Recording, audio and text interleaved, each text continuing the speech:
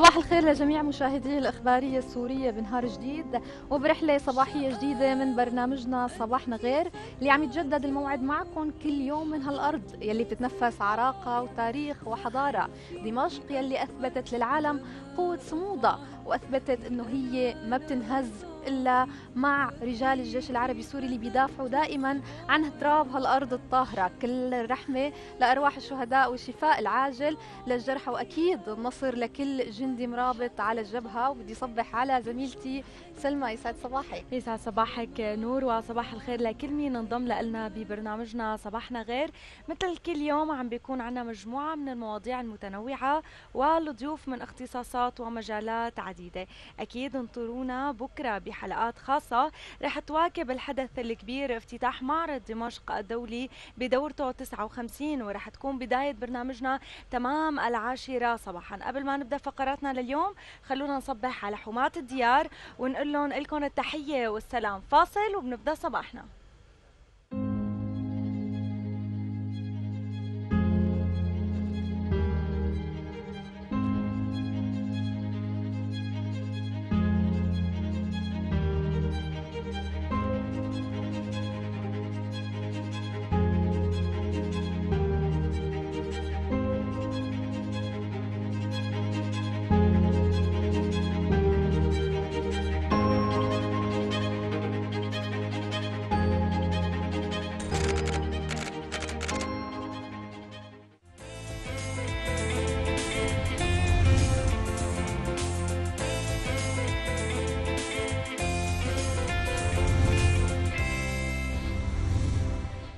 سلمى مثل كل يوم نبتدي صباحنا بجولة على آخر الأخبار المنوعة حول العالم والبداية من سويسرا. فقد اشتعلت السماء فوق بحيرة جنيف بأضواء الألعاب النارية في واحدة من أكبر العروض التي تقام كل عام ويستمر العرض 55 دقيقة متواصلة. أكيد نور هالعرض هو بمناسبة نهاية شهر الاحتفالات الصيفية بالمدينة ويطلق عليه مهرجان جنيف حيث يجذب هذا الاحتفال المستمر من 94 عام أكثر من نصف مليون زائر. خلينا نشوف مشاهد من الاحتفال.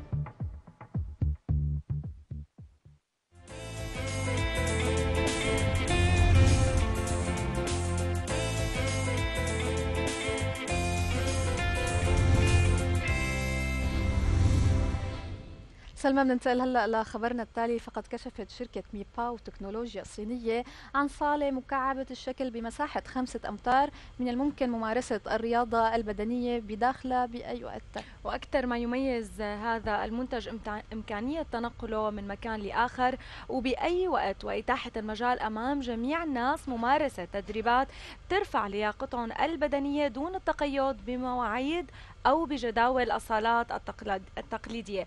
وخلال التدريبات يمكن الاستماع للموسيقى أو مشاهدة فيلم سينمائي. خلونا نشوف سوا.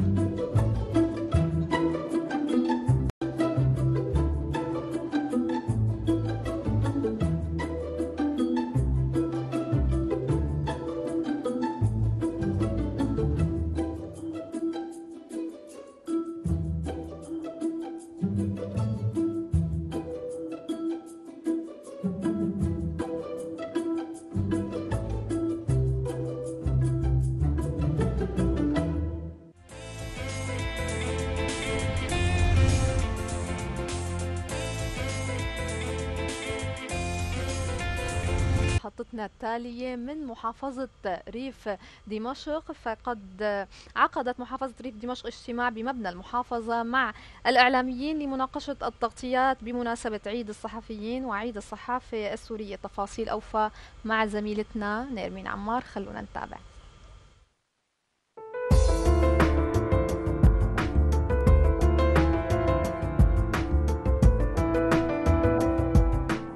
بشكر الصحافة اللي هي مشاركتنا عملنا في الإشارة إلى مواقع الخلل إن وجدت.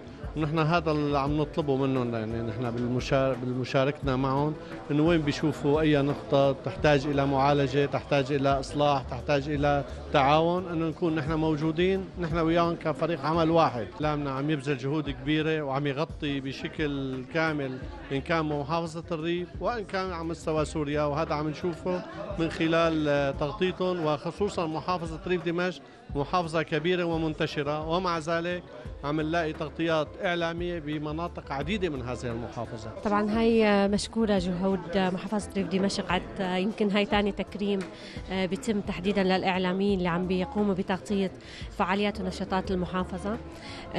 بالمقابل الدور آه، الإعلامي هو مرآة المجتمع. يعني قد الإمكان عم بيحاول الإعلامي يكون صورة للمجتمع وينقل الواقع.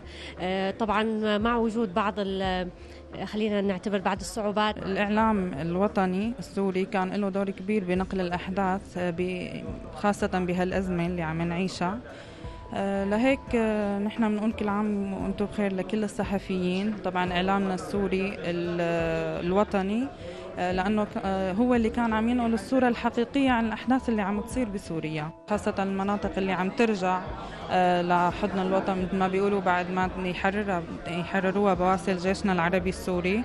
عم نقوم بتغطية هاي الأعمال وبالإضافة لتعاملنا مع القنوات الإعلامية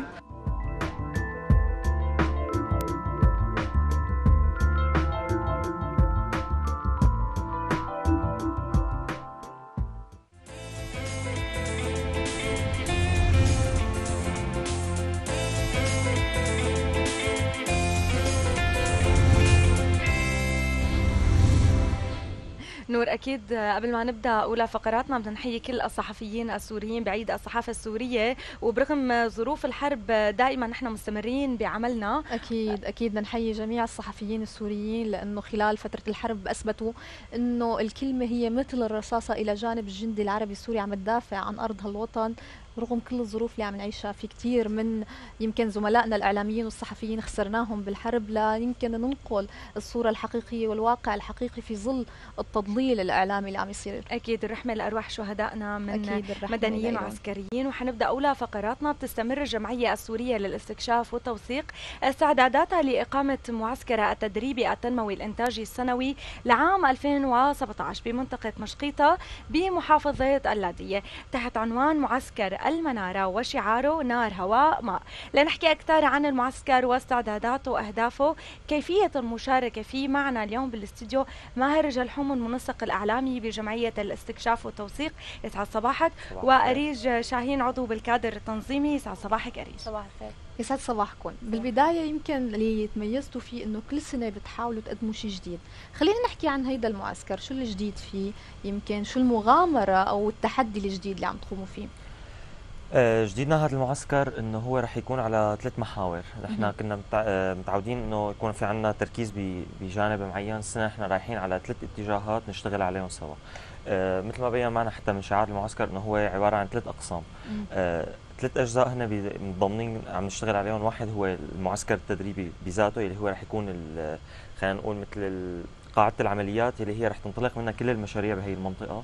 الشق الثاني منه اللي هو آه، جزيرة آه، قريبة من من موقع المعسكر رح يكون فيها مثل مشروع آه، استثماري أو خلينا نقول مثل الخطوة الأولى للمشروع رح يكون نفعه كامل على هي المنطقة ال- أو المجتمع المحلي الموجود هنا والشق الثالث الموجود فيه هو الأهم يلي هو تنمية قرية كانت إحدى القرى اللي هنيك كانت هي على خطوط التماس وكثير تضررت وكثير كان صار فيها أذى بد- بالمرحلة اللي صارت السابقة يعني خلينا نقول يمكن هي السنة الماضية آه، تحررت المنطقة بس كثير كانت معانية من أضرار فنحن حاولنا من سنة الماضية وهي السنة إنه نحن نزيد يعني نزيد اهتمامنا فيها ونسلط الضوء عليها أكثر.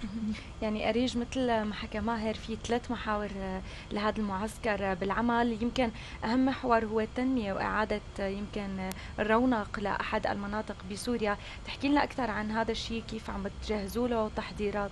طبعا نحن صرنا فترة منيحة عم نطلع على هاي القرية عم نشوف شو الاحتياجات اللي اللي غابت عنهم. آه، القرية كتير تأذت. آه، مثل ما قال ماهر كانت على خطوط التماس مع مع داعش. فهذا الشيء كتير آه، تأذت يعني من وراه.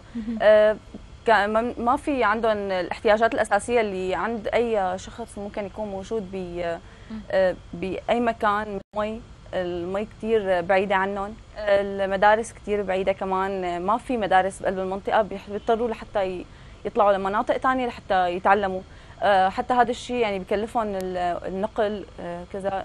بتعرفي انت قرى طبعاً. فالمعيشة فيها آه، أو الدخل المادي تبعهم آه، قليل. ال- ال- آه، الد- الزراعة عندهم كتير تأذت المحاصيل احترقت فهن الشيء اللي بي بيعيشوا منه هن المحاصيل. فهذا هي المحاصيل راحت فكتير تأذوا وكتير آه، يعني غاب عنهم شغلات أي شخص ممكن يكون لازم يكون متحقق لهم. فلهيك نحن آه، كرسنا كثير من الوقت لحتى نطلع آه، نشوف ندرس الحالة الاجتماعية نشوف الاحتياجات وندرس شو فينا ممكن نقدم لهم شو ممكن نساعدهم. آه، عملنا إنه هدف أساسي للمعسكر إنه يكون موجود القرية فيه وإنه تكون القرية هي ال- الشيء اللي ممكن نحن نكون عم ننمي فيها ال- الشيء اللي اللي اللي العالم اللي ممكن إنه ما يكون موجود عنده تمام. تمام. يمكن أهم شيء الدعم اللي قدمتوه ضمن ظروف يمكن صعبة وإمكانيات محدودة. طبعا اللي عم نحاول هلأ نتابع. المادة التالية ونرجع نتابع حديثنا معكم. أوكي.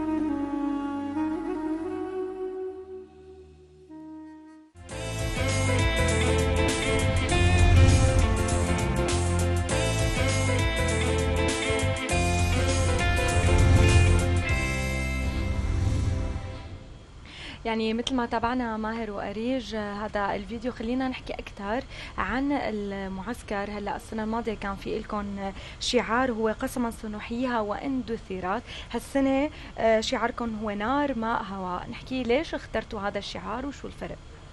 أه هلا نحن يعني عادة لنختار أي معسكر بيسبقوا فترة طويلة كثير من الدراسات والتحضيرات. ومثل ما هلا من شوي ذكرت أريج إنه أحد المحاور اللي كان هو القرية أه وتنميتها أه كمان هي أخذت لنا فترة كثير طويلة من الدراسات والاستبيانات.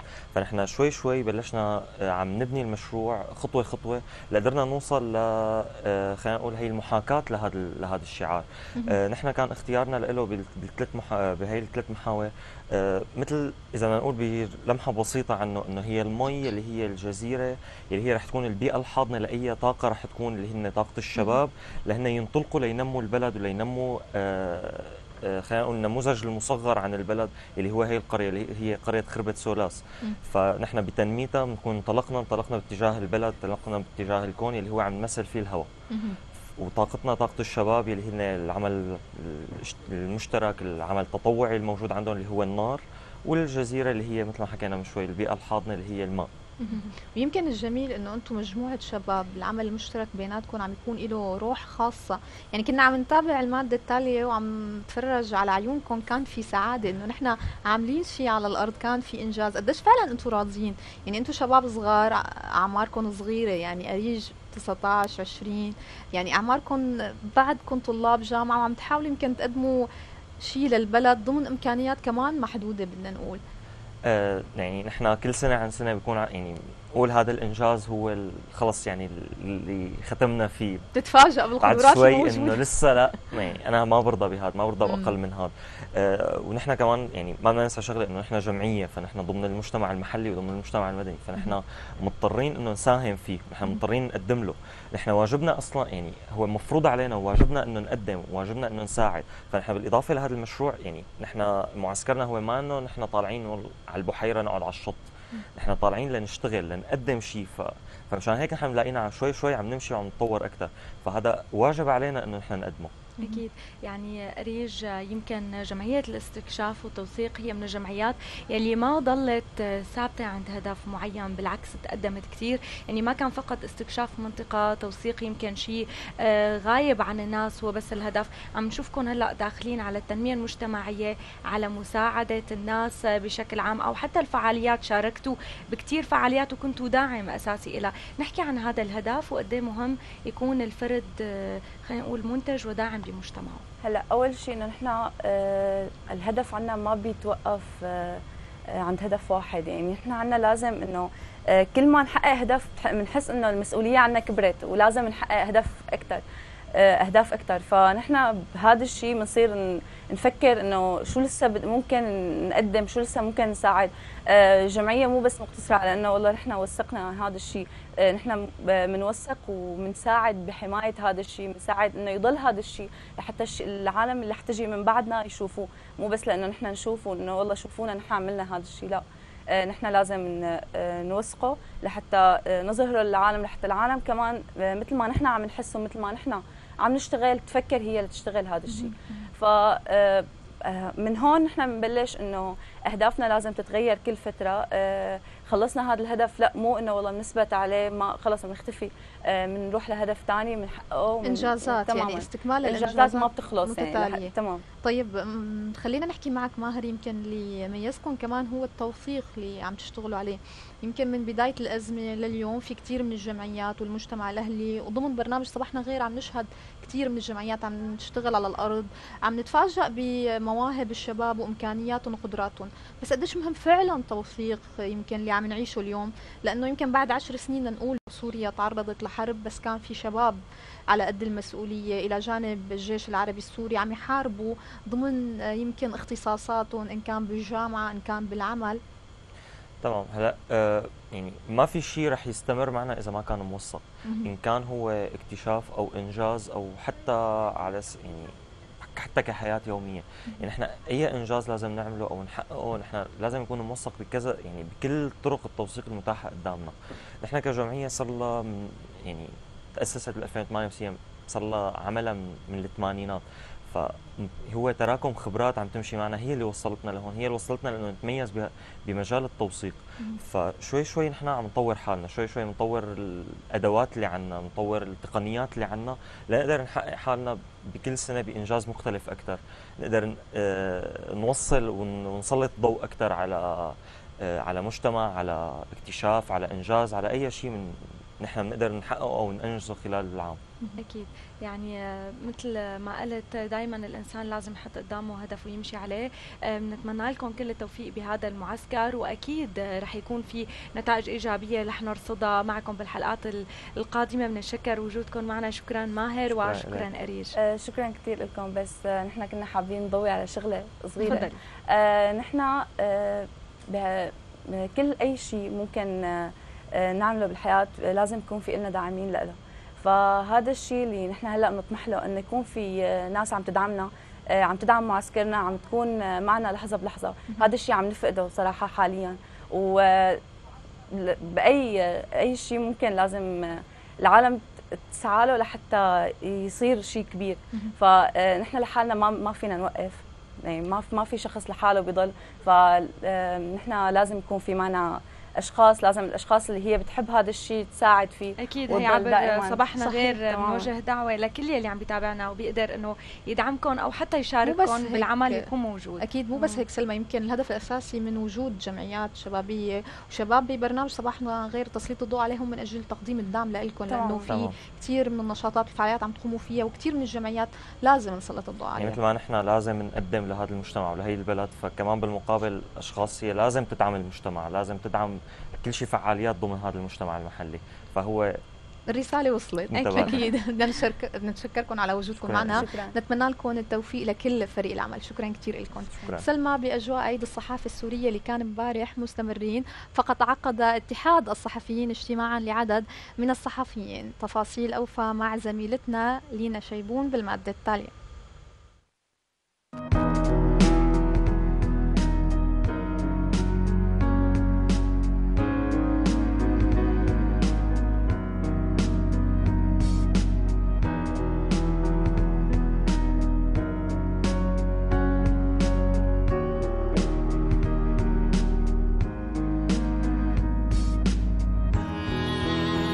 الجميع يعلم بأن الإعلام هو كما يقال هو أحد فرق الجيش العربي السوري ودوما كان في الخندق الأول آه، يدافع عن سوريا في كل الجبهات يعني سواء في الجبهة السياسية أو العسكرية أو الاقتصادية أو الثقافية والاجتماعية الإعلام السوري كان متواجد في كل في كل هذه الجبهات واستطاع بصراحة يعني آه، بكل إيمان أن يواجه آه، يعني آلات إعلامية شيطانية مدججة بالمال والخبرات. واستطاع أن كما نقول ونؤكد استطاع أن يفوز بمعركة الكلمة. وبالتالي لابد من توجيه التحية إلى كل الصحفيين صحفيين سوريا الشرفاء الأبطال الذين لعبوا دورا هاما جدا في انتصار سوريا. دمشق كانت أم الصحافة إضافة إلى أنه الإذاعة السورية كانت الأولى تقريبا. التلفزيون السوري في عهد الوحدة كان الأول. فسوريا كانت سباقة في في مجال الإعلام والصحافة. لذلك أنا بعتقد إنه هالمعلومة هي تحفز الصحفيين الشباب هيك مثلكم والإعلاميين آه، على إنه الاستناد لهي التقاليد الكبيرة. في هذه الأيام 15 8 2017 ما أشبه الأمس باليوم لأن سوريا أيضا إن شاء الله متجهة إلى الانتصار الحقيقي على الإرهاب من خلال هذه الإنجازات التي يحققها الجيش العربي السوري والحلفاء وكل القوى الرديفة للجيش العربي السوري. وبالتالي نحن كإعلاميين آه، معنيون بأن نظهر آه، هذه الإنجازات معنيون بأن نكون مع الجيش في الميدان أيضا معنيون بأن نعزز هذه الحالة لشعبنا العربي في سوريا. من خلال الحفاظ على هذا البلد لكي يبقى بلد المؤسسات. الصحفيون الذين يمتشقون الكلمة سلاحا ويؤكدون التآخي التاريخي بين بندقية المقاتل في الجبهات وقلم الصحفي لحماية البوابات الداخلية للوطن. هذا التآخي هو الذي يميز سوريا وهوية الصحفي العربي السوري. نحن نؤمن بأن الكلمة كالرصاصة وفاعليتها أكثر في الوجدان والفكري والثقافة والرأي. كانت الكلمة العنوان منذ البداية والكلمة اليوم التي حاربنا من أجلها ونقاتل من أجلها هي كلمة الحق الذي رفع رايتها الصحفيين السوريين والإعلاميين السوريين. قدموا شهداء مع الجيش العربي السوري مع شعبنا السوري. اليوم عندما نحتفي بعيد الصحافة نحتفي بالقيمة التي دافع عنها الشهداء من أجل سوريا ومن أجل إعلاء كلمة الحق في سوريا التي كان القلم السوري كان عنوانا دائما وأبدا وسيبقى العنوان الدائم في الدفاع عنها. كلمة الحق سوريا المنتصرة سوريا التاريخ سوريا الحاضر سوريا المستقبل. كان هذا الإعلامي يتحدى هذه الظروف على ضوء آه، وأنتج ربما ما يشبه آه، أو ما يحتاج إلى دعينا نقول توثيق لكي يكون ربما واحدة من المناهج التي تدرس في كليات الإعلام من خلال ما خاضه من تجربة الإعلام السوري في هذه الحرب الشرسة. في هذه المناسبة مرة أخرى أتقدم آه، طبعا آه، بالتهنئة لكل الإعلاميين السوريين ونتمنى في العام القادم أن نكون أنجزنا القصد الأكبر مما نطمح إليه وأن ينجز السوريون ويتحقق للإعلام السوري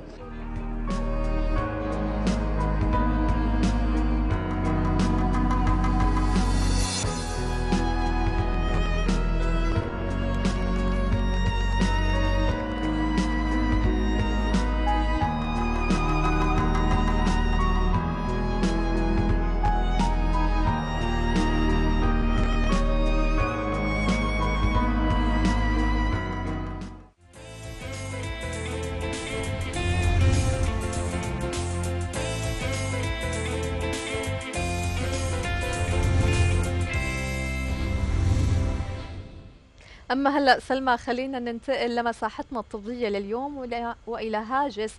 أغلب الحوامل كتار من النساء بضل عندهم تخوف دائم إنه يرجع جسمهم مثل ما كان قبل الحمل والولادة. واليوم مع تطور التقنيات والعمليات أصبح هناك عمليات لشد البطن للعودة كما كان. أكيد نور بعد الولادة بيتعرض جلد البطن إلى الترهل التشقق. شو هو الوقت المناسب لإجراء هي العملية هل من مضاعفات ممكن تظهر بالمستقبل؟ نصائح أخرى هي محاور فقرتنا لليوم مع دكتور راني خاجو أخصائي بالجراحة التجميلية. يسعد صباحك دكتور. أهلا وسهلا فيك. يسعد صباحك. صباح بالبداية يمكن خلينا نعرف مشاهدينا شو هي عملية شد البطن.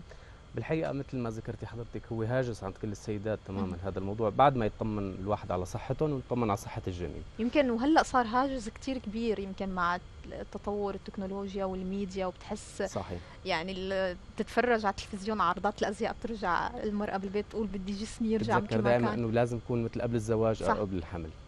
أكيد هذا الموضوع كثير مهم. آه، بيدخل في عدة عوامل. نحن إذا بدنا نحكي عن موضوع شد البطن آه، هو بت يعني في عدة أمور بتدخل ضمن شد البطن. أول ما ببلش الحمل وخصوصا خلال الأشهر الأولى ما كثير بتكون السيدة منتبهة لموضوع إنه لازم بلش أنا وقاية بكير مشان ما يصير عندي أي ترهل كثير بعدين أو يصير تشققات تفزرات حملية كمان. هذا موضوع كثير مهم. آه، دائما نحن بنقول إنه بداية بعد الشهر الثالث للرابع لازم تكون الوقاية مبلشه من هذا الوضع من هذا المستوى. اللي هو آه، إن كان على مستوى الكريمات الموضعيه إن كان على مستوى حتى زيت الزيتون ندهن البطن بموضوع بزيت الزيتون. اللي كان موضوع الكريمات الخاصة للتشققات والتفزرات الحملية. لما ببلش البطن على الأشهر الأخيرة من الحمل آه، يكبر ويتوسع هذا كله عم يعمل شد على الجلد. وبالإضافة لأنه عم يصير جفاف للجلد. هذا الشد والجفاف للجلد وكبر حجم البطن خصوصا بمنطقه تحت السرة. عم يعمل لنا هذا الترهل الجلدي. بالإضافة للترهل الجلدي عضلات البطن عم تصير ضعيفة. نتيجة كبر حجم الرحم عم يصير عندي ضعف بعضلات البطن. كمان عم يصير عندي مستوى ضعف كبير من العضلات مرافق مع ترهل الجلد. كله عم يأثر ما بعد الولادة. تجي السيدة ما بعد الولادة طمنت على صحة البيبي طمنت على صحتها اجى عندها الموضوع الأهم اللي هو الهاجس مثل ما حكينا موضوع إنه أنا كيف بدي أحاول أتخلص من هذا الترهل الموجود. بيجيك دائما سؤال مرافق إنه دكتور أنا ما حأعمل هلأ العملية لحتى أخلص كل ولاداتي. لأنه آه، في دائما هيك مقولة ما بعرف ليش إشاعة كبيرة إنه آه، خلص بعد ما أعمل شد بطن ما عاد أقدر أجيب أولاد. لا الحقيقة هي ما مو هيك الموضوع. عبارة عن إنه لازم بس تستنى حوالي السنة ليرجع تمدد البطن طبيعي بعد العملية. بإمكانها بعدين آه، تحمل وتجيب أولاد. موضوع شد البطن هلأ إذا دخلنا بتفصيل موضوع شد البطن هو دائما عندنا نحن الترهل الموجود من السره وتحت هذا كلياته بعملية شد البطن حيروح عنا. آه، الجلد الزايد اللي ضمن هالمنطقه كلياته حيروح. آه، بالإضافة بنقدر نعمل عملية ترميم لعضلات البطن بأثناء العملية. يعني بنحاول نرجع عضلات البطن لوضعها الطبيعي. وبعدين نعمل عملية شد البطن لحتى يرجع البطن إلى إلى درجة ما يكون مثل قبل الزواج أو إنه مثل قبل الحمل الأول. طيب هون دكتور يمكن بعض النساء تسأل هل هي العملية بتتناسب مع كل السيدات؟ آه مثلا آه أو هل مثلا في طرق مختلفة متنوعة لإجراء هي العملية؟ يعني بعض استفسارات أو مخاوف بتكون طبيعية يعني. صحيح. أي عمل تجميلي آه، بالمجمل بالمجمل أكثر شيء السيدات نحن عم نحكي طبعا هو في سيدات ورجال بس كونه موضوعنا مختص تقريبا ضمن السيدات عم نحكي عن الموضوع آه، بيشوفوا الناحية الإيجابية منه. لا أنا بقول لازم نشوف نحن الناحيتين الناحية الإيجابية والناحية السلبية. دائما لما بنشوف إنه الناحية الإيجابية عم تتجاوز ال 70% فأنا بعمل ريسك وبروح عليه لأنه عندي الإيجابيات أكثر. صحيح إنه كل حاله لها وضعها الخاص كل حاله لها دراستها الخاصة حسب حجم الحوض حجم الحوض بيلعب كثير آه، أهمية كبيرة بعملية شد البطن. آه، الموضوع الأهم اللي دائما بركز عليه أنا آه، بالعيادات إنه موضوع ندبة البطن. بدنا نتأقلم مع ندبة البطن بدنا نشوف نمط الجلد. إذا حيكون نمط الجلد من النوع الجيد اللي ممكن الندبة ما تكون ظاهرة كثير ولا لا ممكن تترك ندبة ضخامية من إلا لبعدين. كثير مهم نحن نشرح للسيدة هذا ما ترجع السيدة تقول بعدين دكتور أنا هذا الموضوع ما كنت بعرفه أو ما كنت مشيت هالخطوة لأني ما بعرف هاي الفكرة. فلازم هي تطلع على كل الإيجابيات والسلبيات. آه، تاخذ وقتها بالتفكير ما يكون الفكر عاطفي. يعني كيف؟ ما يكون لأنه أنا بدي أعمل شو ما كان لحتى أرجع مثل ما كنت. لا آخذ الموضوع شوي بعقلانية. آه، حط ميزان الإيجابيات والسلبيات مع بعضهم. وإذا رجحت كفة الإيجابيات وقدرت استوعبت الموضوع بروح على العملية في نقطة دكتور كثير مهمة ذكرتها هي عودة عضلات البطن مثل ما كانت يعني أثناء عملية شد البطن. في كثير من الحالات عند الامرأة التو يعني تكون حامل بالتوأم اثنين أو ثلاثة بصير فرط بالعضلات. قديش ممكن هي فعلا العضلات خلال العملية ترجع مثل ما كان؟ يعني عم يعانوا منها كثير من صحيح. النساء. صحيح. الحقيقة نحن بنسميها تباعد مستقيمتين. أنا ما حأدخل بالتفصيل العلمي تماما بس بموضوع إنه عضلات البطن اسمها مستقيمات. م. يعني هن وضعهم الطبيعي يكون شكلهم مستقيم. فأثناء الحمل عم يتحول هالشكل المستقيم للشكل المغزل يعني الشكل بومبي عم يكون. آه، بالحمول الكبيرة اللي سواء كان توأم أو سواء كان حجم أحيانا بيكون حجم بالبطن كبير يعني جنين وحيد لكن في حجم في بطن زيادة في زيادة. كبيرة. بالإضافة بيكون ضعف بالعضلات سابق. يعني الصبية قبل الزواج ما كثير عندها حركة رياضة آه، بعد ما تزوجت التهت بالبيت ما عم تعمل رياضة تمارين معدة.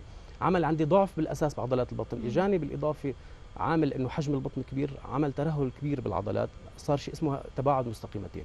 يعني هالعضلتين تبعدوا كثير عن بعضهم. الترميم بنجي موضوع الترميم أثناء العملية، أثناء العملية ممكن نحن نقول يعني كنتيجة واقعية نكون تقريبا ل 80% ل 80% تعود العضلات ترجع العضلات آه، بوضع. آه، بقدر هيك نوه على موضوع حضرتك كمان إنه مهم جدا إنه نحن الفترة الأولى بأول ست شهور بيكون قوة البطن على الخيوط الموجودة أثناء العملية. لبين ما تتليف هالخيوط بعد ست شهور ثاني بتصير ترجع طبيعي. بمعنى لازم كمان تنتبه على موضوع إنه أول ست شهور ما يكون في عندها ضغط كثير على البطن. لأنه لسه العملية ببدايتها آه، قوة العملية عم تكون على الخيوط الموجودة. لازم تتحمل شوية ما ما شيل حمول كثيره ما آه، شيل اغراض انتبه ارجع شوي شوي على الرياضة لحتى ما تقطع أول ست شهور تقدر ترجع لحياتها الطبيعية بشكل جيد. طيب دكتور كمان بعض الأسئلة المتكررة اللي آه، بنشوفها أو بنسمعها عن آه، عملية شد البطن إنه هل هي بتساهم بإنقاص الوزن ولا هي بس مجرد نحت وتجميل للمرأة؟ بالهدف الأساسي أكيد هو الشكل الخارجي، دائما نحن عم نشتغل على الشكل الخارجي. بطريقة غير مباشرة أكيد بينزل الوزن لكن مو هالنزول الحاد يعني مو مثل عمليات البداني اللي بيكون الهدف الأساسي فيها إنه نحن ننقص الوزن. لا هون نحن عم نشتغل على الشكل الخارجي للجسم. تجميلي. تماما. بالإضافة ممكن يكون في عندي نقص لحد ال 4 5 كيلو حسب كل سيدة 7 كيلو 4 5 كيلو لما تقولهم لسيدة حامل ولدت جديد ال 4 5 كيلو من الهواء راحوا فكتير منيح صحيح يعني. صحيح صحيح. طيب دكتور خلينا نحكي عن الندبة اللي تحدثت عنه. هي كمان نقطة كثير مهمة للنساء اللي عم يحضرونا اليوم.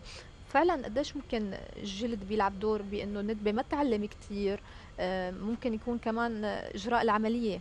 بشد البطن مكانها كمان بيلعب دور. صحيح.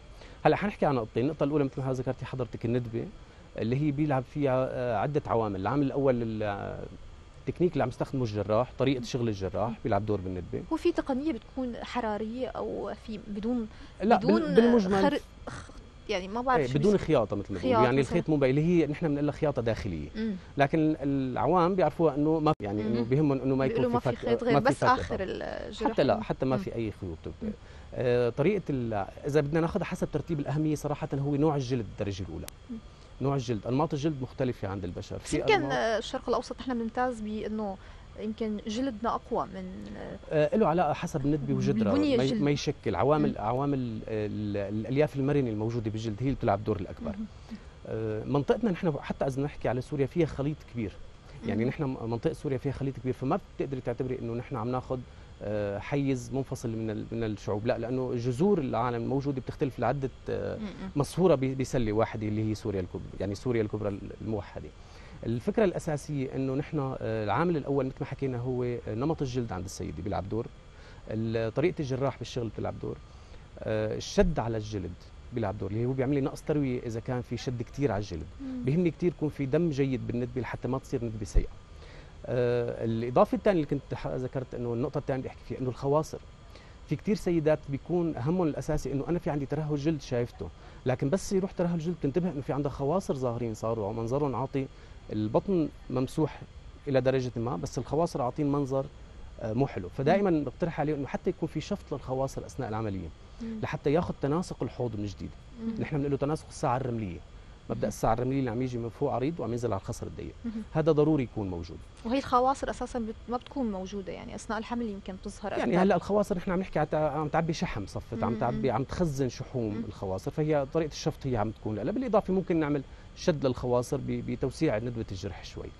يمكن دكتور حكيت على شغلة ببدايه حديثنا وقلت إنه هي العملية يعني هي ما بالنهاية سحرية في عوامل كثير بتلعب دور. يمكن النظام الغذائي للمرأة الرياضة آه، قديش ممكن هي تكون فعلا معتمدة على نفسها بشكل صح وفي تنسيق بينها وبين الطبيب. خلينا نحكي عن هي العوامل اللي هي تسمى عوامل نجاح العملية. العوامل الأخرى اللي ممكن المرأة نفسها تعملها لحتى يمشي الحال. أنا بعتبر العامل الأساسي لنجاح العملية إنه المرأة أو السيده تكون عم تنظر نظرة واقعية للعملية. كيف نظرة واقعية؟ دائما بحس إنه بيجوني على العيادات أو بيراجعوا المشافي عم يشوفوا مثلا سيده أو زميلتهم أو صديقتهم عاملة شد بطن وعم يشوفوها غابت ست شهور أو أربع شهور أو ثلاث شهور ورجع بطنها كثير بيجنن وندبتها كثير حلوة. بس هن ما سألوا حالهم هالثلاث شهور كيف عانت لحتى وصلت لهم. طبعا. فدائما الفكرة إنه هي قبل وبعد قبل, قبل هيك بعدك. لا. العامل الأساسي مثل ما ذكرنا أنه نتقبل واقع العملية في عندي حالة وزمه بعد العملية في عندي زراء بده يكون في عندي معاناة أول أسبوع أسبوعين حسب كل عملية طبعا المعاناة حسب آه، كبر العملية قديش حجمها قديش آه، آه، خطورتها كله هذا بيلعب دور. فالعامل الأساسي أنه نشرح للسيدة أنه إذا كانت هي نزلتها غير واقعية لا العامل الأساسي نشرح لها قديش حيكون استفادتها وشو المراحل اللي حتمر فيها. لأنه آه، بعد العملية بتبلش تحس إنه أوف في وجع في زراء في هذا كله لازم تكون هي عرفانته مشان تتقبله آه، بسلاسه النقطة الثانية هي ثقة السيدة بالجراح وهو موضوع كثير مهم. وليش عم أقول مهم؟ لأنه عم لاحظ حاليا إنه السوق التجميلي يعني ببعض المحلات أخذ سوق تجاري. صحيح وهي نقطة كثير مهمة. صح. ليش عم نسألك مثلا عن ندبة البطن؟ لأنه هي معترف عليها عند كل الدكاترة. على تنية البطن هي ندبة بحيث ما تكون ظاهرة. تتفاجأ في كثير من السيدات. صح. لا يا هي بتكون أعلى يا بتكون هي منخفضة أكثر ما كثير بتكون دقيقة يعني هون بيلعب دور مثل ما قلت إيه الثقة بالجراح لأنه ممكن يعمل لك إنه العملية هي كثير طبيعية وسهلة يكون في خطأ من قبل الجراح صحيح. يعني هي يمكن على ميل اللي مع المرأة بتفرق, تفرق يعني معه. حتى نفسيا تفرق معه. كثير ب... كثير أحيانا بيكونوا آه، مفتكرين إنه نحن موضوع شد البطن حتكون ندبتها على خط القيصرية مثلا. نحن كلياتنا بنعرف إنه خط القيصرية ندبته قصيرة لكن لا أكيد هي ندبة بتمتد أكثر من خط القيصرية. فكمان هذا الموضوع مثل ما ذكرتي حضرتك عم يكون مفاجئ. إذا ما كان من البداية محضرة ومعرفاني كيف حدود العملية كيف حتكون وحدود الشق أكيد حيعمل عندها عدم ثقة. و... واللي هو صاير بجزء نحن ما حنعمم لكن صاير بجزء إنه السوق التجميلي التجاري عم يكون خطر بهذا الموضوع. إنه نحن حنعمل شغلة كثير ممتازة كثير كذا بتتفاجئ السيدة بعدها إنه هي وقعت ما بدي أقول بفخ لكن وقعت بمشكلة مثلا أنا المفروض آه، أرجع لدوامي بعد 10 أيام آه، بتفاجئ لا إنه أنا بدي نقاها شهر أو شهر ونص. يعني ما ما أنا محطوطة بصورة الجو تماما. فلا آه، مثل ما ذكرنا. حتى ومكان الجرح يعني ممكن بيفرق معها على ميلي على يعني. نص سنتي أو تمام. على صحيح. لأنه كمان الجرح بيختلف حسب حوض السيدة. كل ما كان الحوض أكبر كل ما كانت الندبة حتكون أكبر. فهذا الموضوع صحيح مثل ما ذكرتي حضرتك كثير مهم. النقطة الأهم بالموضوع إنه نحن ما عم نشتغل مريضة. نحن عم نشتغل حالة تجميلية. بمعنى إنه كثير عن التفصيل هو المهم. آه، تفصيل الندبة كثير مهم. آه، أحيانا بالعمليات الإسعافية. التفصيل مو مهم. المهم مم. صحة المريض والحال الحياة حياة المريض. تمام. نحن هون ما في شيء مهدد للحياة. نحن عم نشتغل موضوع تجميلي ممكن يكون الشخص جاي بس مشان الندبة. يعني الموضوع الأهم له الندبة. ما هو موضوع ثاني وهو موضوع رئيسي عند الشخص. طيب دكتور راني كمان يمكن بمجتمعنا بشكل عام نحن بنعاني من شيء اسمه الطبيب الجار أو الطبيب الصديق أو الهي. فخلينا نحكي يمكن شوية معلومات لكل الناس إنه كل حالة هي مختلفة عن الثاني يعني مثل ما قلت بالبداية في أنماط للجلد. يعني ممكن اللي بيتناسب مع نور غير اللي بيتناسب مع سلمى غير بيتناسب مع فلانة. نحكي عن هي يمكن النصائح أو التحليلات أو الشيء اللي أنتم بتتبعوه بشكل عام لكل شخص لحتى يكون بيعرف بالنهاية حالته بشكل صحيح. كامل. نحن دائما مثل ما ذكرنا السيدة إذا بدها تيجي تعمل عملية شد بطن شو بهمها تكون تعرف إذا كانت يعني نتوقع إنه نسبتها حتكون جيدة أو عمليتها تكون جيدة. مثل ما ذكرنا موضوع حجم الحوض بيلعب دور. نحن كل ما كان الحوض أكبر كل ما كان حتكون لتعرف السيدة الندبة حتكون أكبر. آه، موضوع الوراثه بالندب. مثلا إذا كان عندها آه، عماتها أو خالاتها أو اهلها في عندهم ندب ضخامية أو جدرات فهذا وارد يكون كمان عندها موجود. فهي بدها تتهيأ أو نحن نهيئ إنه احتمال يكون عندك ندبة ضخامية ما بعد العملية كونه في عندك عامل وراثي بهالموضوع.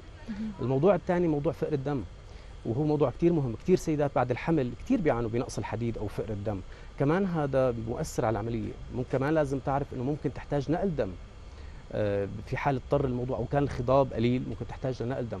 وفقر الدم كمان بيأثر على موضوع كونه دخلنا بموضوع الندبة بشكل تفصيل لأنه مثل ما ذكرنا بشد البطن هو موضوع مهم.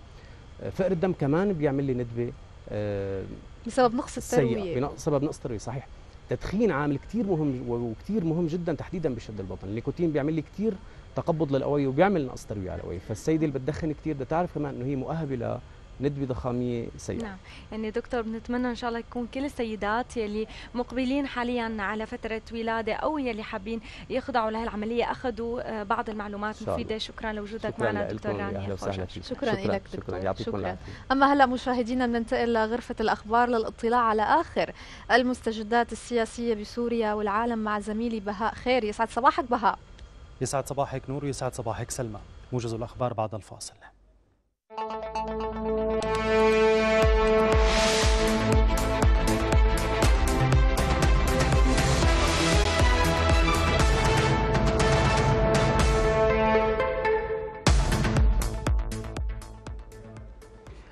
بكم. نفذت وحدات من الجيش العربي السوري بالتعاون مع القوات الرديفة عملية عسكرية أحكمت من خلالها سيطرتها النارية على قرية صلبه شرقية مدينة سلمية بريف حماه وأفاد مراسل الإخبارية في حماه بأن وحدات الجيش وسعت نطاق عملياتها على تجمعات وتحصينات إرهابي داعش في محيط قرية صلبة وتمكنت من السيطرة على تلة جب المزارع وطرق الإمداد المؤدية إليها وتكبيد إرهابي التنظيم خسائر كبيرة بالأفراد والعتاد. وفي ريف حمص الشرقي استعاد الجيش السيطرة على سبع قرى وبلدات كما فرض سيطرته على عدد من التلال والمرتفعات الحاكمة على محور إثريا بريف حماة الشرقية. قتل جنديان من النظام السعودي على حدود المملكة الجنوبية مع اليمن. وذكرت وكالة أنباء النظام السعودي بأن جنديين من حرس الحدود قتلا في قطاع العارضة جازان عند الحدود الجنوبية مع اليمن ليرتفع عدد قتلاه على الشريط الحدودي فقط منذ العاشر من أيار الماضي إلى أكثر من خمسين عسكرياً. إلى ذلك أنهت سلطات النظام السعودي أعمال الهدم في حي المسور القديم ببلدة العوامية في محافظة القطيف بعدما تم هدم نحو 500 مبنى.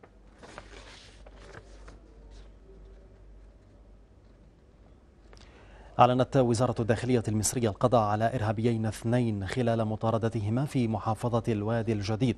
وقالت الوزارة في بيان بأن الإرهابيين متورطان في العديد من الجرائم وعمليات العنف لافتة إلى أن أحدهما كان يرتدي حزاما ناسفا. وفي خبرنا الأخير حيث أعلنت السلطات التونسية إحباط مخطط لإرهابي تنظيم داعش للسيطرة على بعض المناطق جنوب البلاد. ونقلت الوكالة الفرنسية للأنباء عن وزارة الداخلية التونسية قولها في بيان بأن الوحدة الوطنية للبحث في جرائم الإرهاب والجرائم المنظمة تمكنت من الكشف عن مخطط إرهابي كان يستهدف الوحدات الأمنية والعسكرية المتمركزة بالجنوب تحضيرا للسيطرة على المنطقة. نهاية الموجز والآن نعود للزميلات في استوديو صباح نغير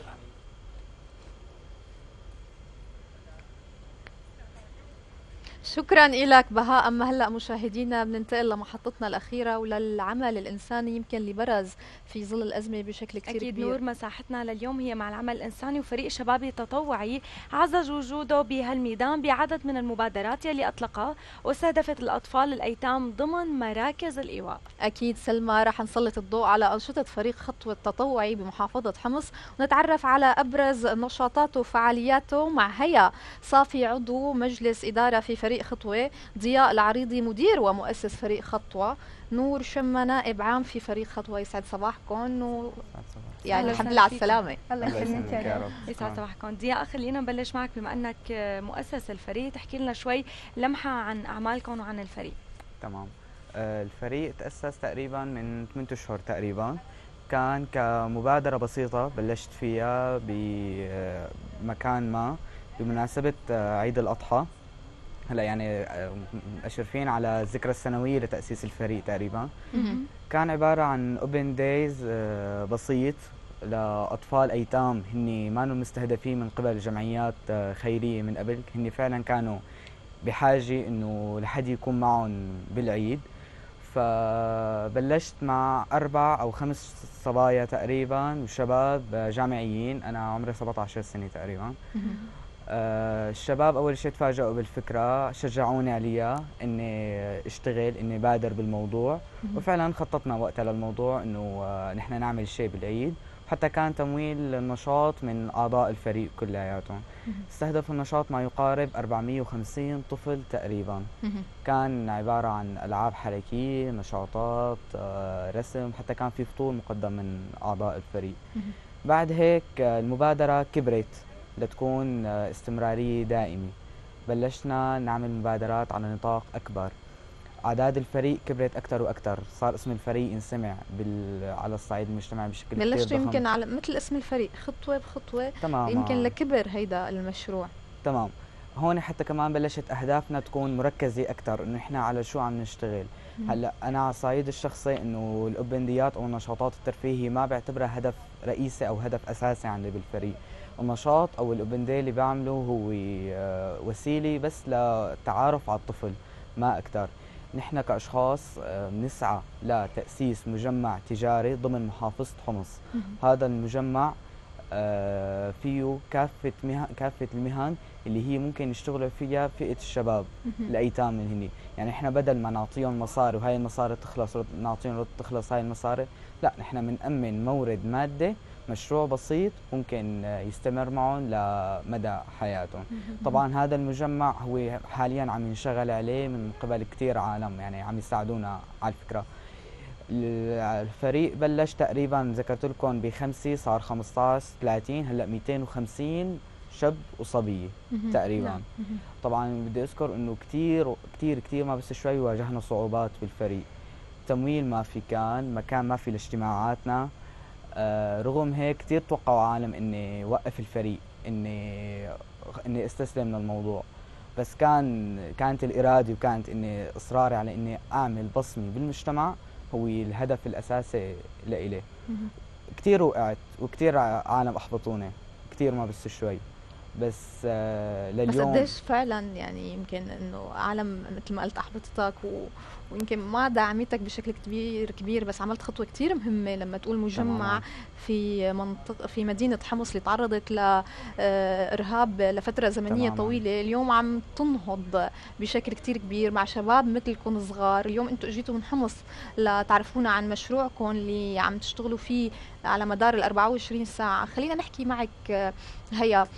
مجمع مثل هذا قديش بيكون في له تحضيرات قديش في بيكون يمكن في أجواء مغيبة على عين المشاهد بس هي فعلا تحضيرات ومجهود كتير كبير عم تقوموا فيه خصوصا انكم طلاب جامعة وأعمار صغيرة بس الخطوة الصغيرة صارت خطوة كتير كبيرة. خطوة كتير كبيرة وعم تكبر تكبر تكبر تكبر. هلأ نحن آه هذا المجمع نحن بدنا نحاول آه يكون ضامن عدة فئات من من الأعمال خياطة آه، نجارة. يعني كذا قصة تقدر تخلي الأطفال الأيتام آه، عن طريقه أنه يصيروا شيء شيء هن ممكن يكون عندهم خجل مشان يقدروا يتعاملوا مع مع كافة فئات المجتمع. نكسر هذا الحاجز تبع الخجل من الأطفال ويكونوا شيء آه، بالأيام إنه طلعوا من ال... إنه من سنه 18 انه هن معهم مهنة أو يعني بإيدهم شيء إنه يقووا فيه. أكيد. يعني نورا كمان يمكن الدعم النفسي هو جزء من حل مشاكل كثير كبيرة لا أيضا لأي شريحة بتدعموها سواء الأيتام أو أي شريحة ثانية تحكي لي يمكن عن طريقة عملكم كيف تشتغلوا كيف تنسقوا الأدوار بين بعض؟ أه هلأ أه بما إني أنا نائب النائب العام لفريق يعني فريق خطوة فأنا بحاول نسق بيناتهم. ممكن مثلا إنه ما بعرف إذا عرفتي كمبادرات عملنا مبادرات عملنا open day أه نحن يعني عم نكون روح وحدة. أه يعني عملنا كثير open day أه رحنا مراكز إيواء. يعني يعني تقريبا كل فعالية كيف بيتقسم الفريق قد إيه العدد كيف بيكون في تنظيم عمل بيناتكم؟ يعني تقريبا إنه قبل ما نبلش بالشغل يعني نبلش تحضير قبل بشي شهر. في طبعا بيكون في فريق تنظيم فريق خاص بالمهارات فريق خاص بالأنشطة الحركية. يعني كل إنه كل إنه يعني مجموعة إنه مهتمة بموضوع معين بحيث وقت نروح للمبادرة أو الأوبن داي فنكون كل واحد إنه موجود بمكانه المخصص. ويعني هيك تقريبا. طيب ضياء خلينا نحكي معك قديش لسه في عندكم تحضيرات ليتم تكميل المجمع آه، لتكون الخطوة الكبيرة كاملة على أكمل وجه آه، قديش؟ فعلا في عندكم مسؤوليات كتير كبيرة لما نقول نحن أعمار صغيرة 17 18 يعني حضرتك مدير الفريق ويمكن أصغر واحد بالفريق. أنا أصغر واحد بالفريق يعني ما في حدا 18 كلياتهم من 23 وفوق تقريبا 23 آه مراحل الفريق كتير كبيرة لنقدر نوصل للمجمع التجاري. أنا بصراحة ما يعني ماني من الشاب اللي فورا بطمح إني أنا أوصل للدرجه العالية فورا. فأنا بحب أمشي بالتراتبية مرحلة مرحلة مرحلة مرحلة. يعني مرحلة المجمع آه، ما أنا سهلة وما أنا يعني بالأمر السهل إني أنا أوصل له فورا. اليوم الفريق لازم يكون عنده خبرات لحتى يقود هيك مجمع. لازم يكون في عنده قدرة كاملة يعني عنده خبرات كافية لإدارة مجمع من 12 طابق تقريبا تنسيق بين آه، لجان مهن المهن تبعه. حتى أنا غير هدفي إني أنا أعطي مهني لهذا الشاب آه، أنا كفريق خطوي نحن عائلي تقريبا بين بعض. أنا بحاول إني أنشر موضوع المحبة والسلام بين أعضاء الفريق. ما يكون اجتماعنا فقط للعمل لا هو ممكن يكون لعائلي. ما في حدا صار معاه مشكلة فينا إلا ما كنا كلياتنا إيد وحدة معاه أو اعتاز شيء. فأنا آه وأعضاء الفريق بنحاول إنه يكونوا هدول الأطفال الايتام هن جزء كبير من عائلتنا. فحاليا هذا الشيء اللي عم نشتغل عليه. لحتى نحن أنا هلأ عدد الفريق 250 حدي فأنا مقسمهم لجروبات مجموعات. كل مجموعة مستلمة عدد منيح من الأطفال عم ينشغل معهم في مراحل برنامج مهارات الحياة. هذا البرنامج ليتمكنوا منه من موضوع العمل الجماعي من موضوع قيادة الفريق التخطيط لمشروع. إذا ما هن خططوا للمشروع أو للمقر اللي بدهم ياخذوه ضمن المجمع ما راح يقدروا يوصلوا لموضوع المجمع. إنه هن يستلموه ويكونوا إدارتهم واشرافهم يعني كمان ضياء يعني مثل ما قلنا أنت أصغر حدا بالفريق كل الصبايا طلعوا لما قلت 23 وفوق بلا ما تذكر الاعمار بعدين هي بتتحاسبوا عليها بعد الهواء آه، خلينا نحكي يمكن التعامل مع أطفال صغار كمان بده آه، بده آلية. هل في حدا عم بيساعدكم مثلا مختصين بهذا المجال؟ يمكن داعمين أساتذة دكاترة طبعا. أو أخصائيين نفسيين. هل عم تخضعوا لدورات لهذا الشيء؟ نحن غير أنه متطوعين بفريق خطوة إحنا متطوعين بجمعيات خيرية. يعني أغلبيتنا متطوعين بجمعية البر والخدمات الاجتماعية. عندكم خبرة سابقة بهذا تمام الموضوع. خاضعين لدورات كثير مكثفة بمجال الدعم النفسي والاجتماعي وبمجال برنامج مهارات الحياة. يعني أنا قبل ما أسس فريق خطوي أنا متطوع من خمس سنين بجمعية البر والخدمات الاجتماعية إضافة لاعمال يعني قد كان عمرك وقتها؟ 13 سنة. 13 13 سنة. طيب خلينا بالختام يمكن معنا دقيقة. كلمه كلمة آه، من أعضاء الفريق بتحبوا توجهوها لكل اللي عم يشوفونا؟ ولأهالي حمص آه، إذا بتحبوا. تمام.